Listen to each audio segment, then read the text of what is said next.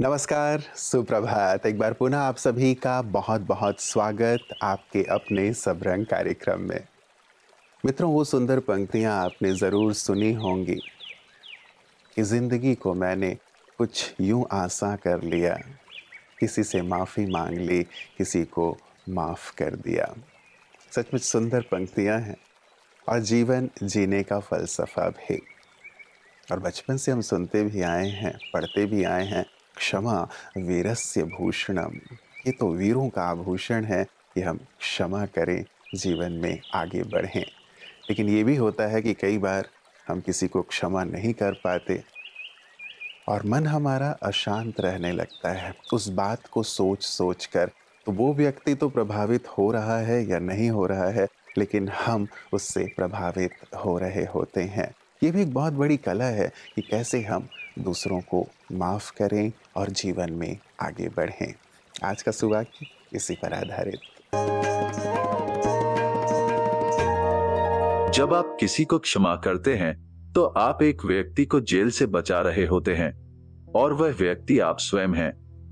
हाँ दोस्तों, हम कभी कभी सोचते हैं कि किसी ने जो किया उसके लिए उसे माफ़ न करने का हमारा नैतिक अधिकार है। हाँ बिल्कुल, लेकिन हम ये भूल जाते हैं कि किसी के सही या गलत को आंकने के लिए हमारे पास सही मापदंड नहीं है। हम कारण और प्रभाव के नियम को भी भूल जाते हैं। और मान लेते हैं कि हम सही हैं और दूसरों की गलती है। इस वजह से जितना हम द्वेष रखते हैं, उतना ही हमें दर्द होता है, यानी हम जेल में बंद हैं। जिस क्षण हम किसी को क्षमा करते हैं, तीन चीज़ें होती हैं। एक, हम दर्द से मुक्त हो जाते हैं। दो, दूसरे व्यक्ति को अपनी गलती का एहसास करने के लिए सही ऊर्जा मिलती है। तीन क्रिया और प्रतिक्रिया का दुष्चक्र हमेशा के लिए बंद हो जाता है। कम अपेक्षा करना और अधिक क्षमाशील होना कोई एहसान नहीं है जो हम दूसरों पर करते हैं। हम ये अपने लिए कर रहे हैं और हम दुनिया को सही ऊर्जा भेज रहे हैं, जिससे अंततः समाज को लाभ होगा।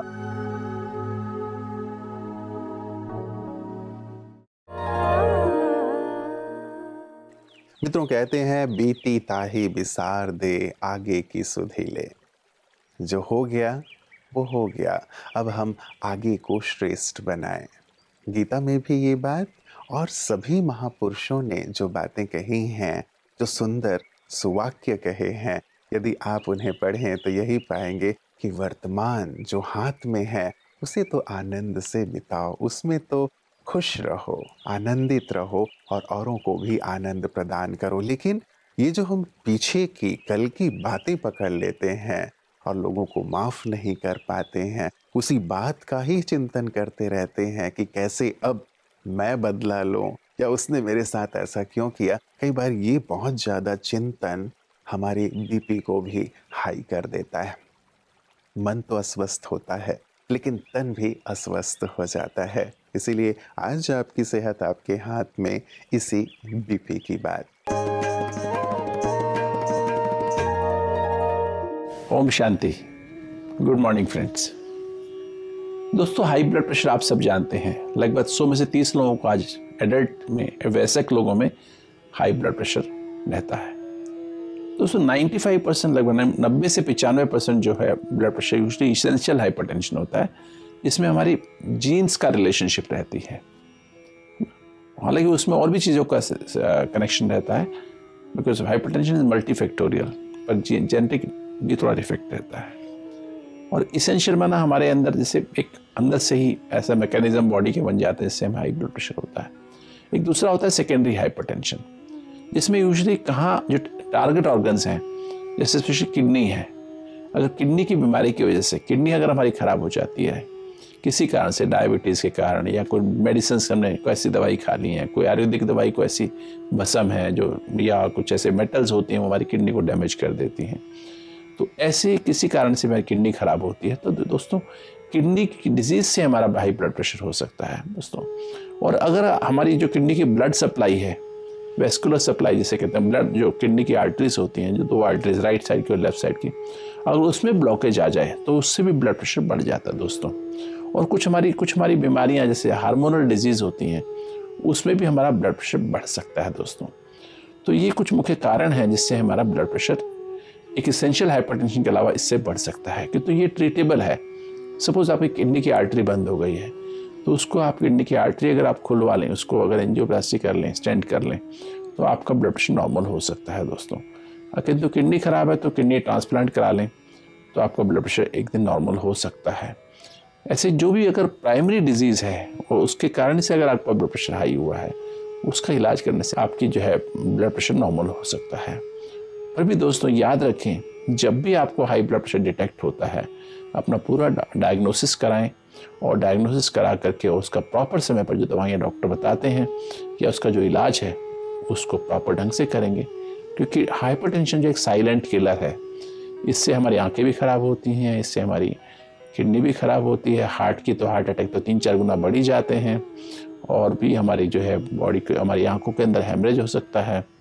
तो ये बीमारी और इससे स्ट्रोक हो सकता है पैरालिसिस का अटैक आ सकता है। तो दोस्तों, इससे बचें और इसका सही समय पर निदान और इलाज करें। ओम शांति। महत्वपूर्ण बात है मित्रों कि मेडिकेशन के साथ साथ यदि मेडिटेशन किया जाए तो हर प्रकार से हम संतुलित जीवन का आनंद ले सकते हैं। मन भी संतुलित रहता है और तन भी संतुलित रहता है। मन भी स्वस्थ रहता है और तन भी स्वस्थ रहता है। और यही सुंदर अनुभव हमारे विशिष्ट जन भी करते हैं जब वो ब्रह्मा कुमारी इसके केंद्र पे आते हैं या हेड क्वार्टर्स में। उनके भी सुंदर अनुभव कि कैसे मेडिटेशन उन्हें शिखर की ओर ले चलने में मदद कर रहा है। आइए सुनते हैं आज के हमारे विशिष्ट अतिथि से उनके सुंदर अनुभव।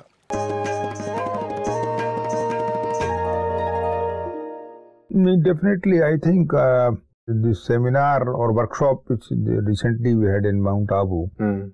about this uh, integrity, benevolence, Mm-hmm. and meditation you know, for administrators.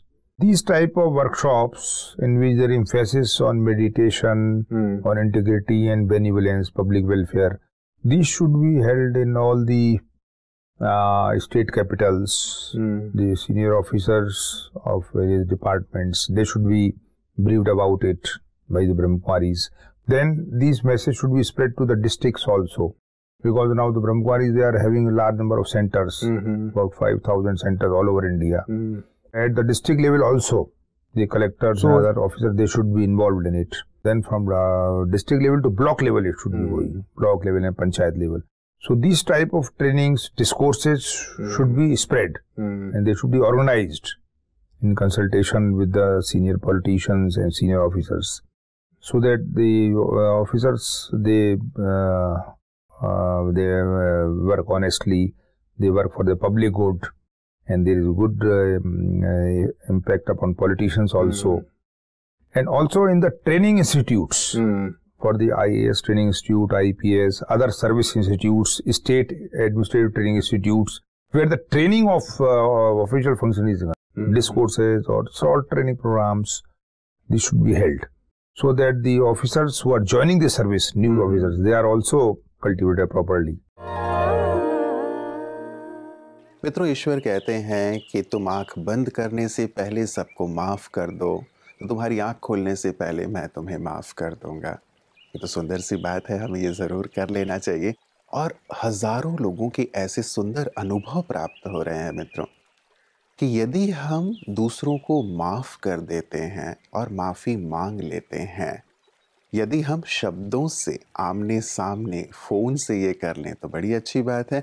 लेकिन नहीं भी कर पाते हैं, क्योंकि कई बार ऐसा होता है, पास्ट के बर्थ में भी कई ऐसे हमारे अकाउंट्स कुछ आत्माओं के साथ होते हैं, जिनका भी प्रभाव हम इस जन्म में देखने को मिलता है। एक अच्छा सा अभ्यास आप भी ज़रूर करें, जो ब्रह्मा कुमारियाँ सबको सिखाती हैं।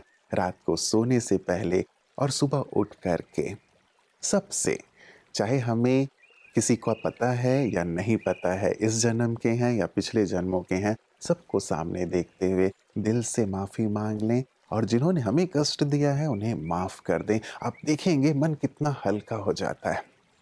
आप कितने सुकून का अनुभव करते हैं।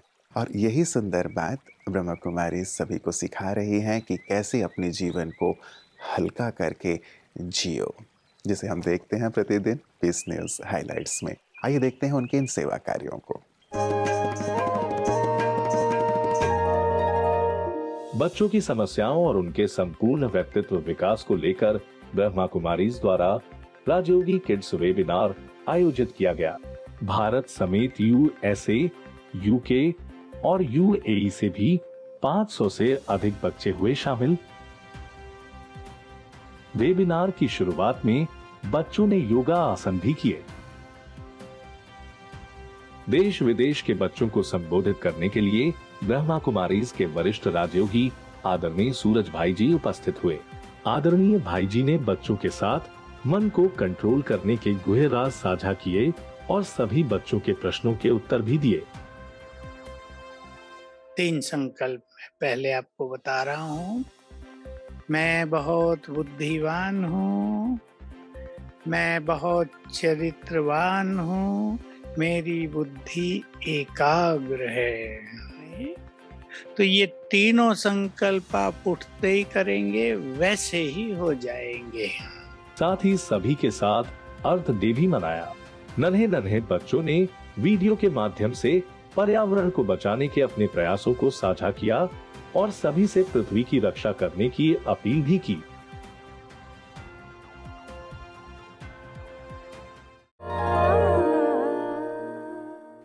देखिए ना देखते देखते कैसे सब रंग के बिल्कुल अंतिम पड़ाव पे हम सब पहुँच जाते हैं, वक्त का पता ही नहीं चलता ना। अच्छा लगता है एक दूसरे के साथ ये जो सुंदर पल हम बिताते हैं, क्योंकि जीवन की बहुत ही महत्वपूर्ण बातों पर चर्चा कर पाते हैं हम। आज भी क्षमा के ऊपर पूरी तरह से एक सुंदर प्रकाश हमने लिया, कुछ बातें सुंदर शेयर की। इस पर ज़रूर कार्य कीजिएगा मित्रों। जो इससे पूर्व मैंने बात कही थी क्षमा कर देना, क्षमा मांग लेना बहुत महत्वपूर्ण है हमारे जीवन के लिए। क्यों ना हम एक उदाहरण प्रस्तुत करें? कई बार हम दूसरों का उदाहरण तो देते हैं, दूसरों को कि देखो उसने ऐसा किया। महापुरुषों को भी हम इसीलिए याद करते हैं क्योंकि उन्होंने ये किया। क्यों ना हम भी एक उदाहरण प्रस्तुत करें सबके आगे। एक उदाहरण स्वरूप बन जाएँ क्षमा करने में भी और अन्य गुणों को धारण करने में, अच्छी बातों को धारण करने में, ताकि लोग हमारा भी एग्ज़ाम्पल हमारा भी उदाहरण औरों को दें। और इसी प्रकार तो हम समाज को सुंदर और बेहतर बना पाएँगे। अपना ख्याल रखिएगा, कल पुनः सुंदर बातों के साथ, सब रंग में आप सबके साथ मुलाकात होगी। नमस्कार, ओम शांति।